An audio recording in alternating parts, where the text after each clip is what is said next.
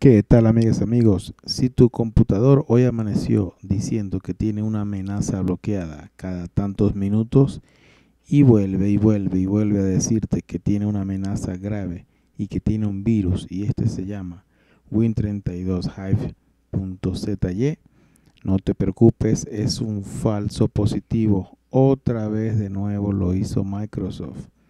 De nuevo tienen un falso positivo en la actualización de Windows Defender Así que no tienes que preocuparte, solamente es de esperar una nueva actualización de Windows Defender para que ésta pueda corregir el problema de esta supuesta amenaza que está siendo detectada en tu computador a cada rato. Así que no te preocupes.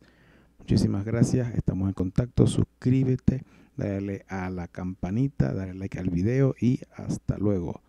Saludos.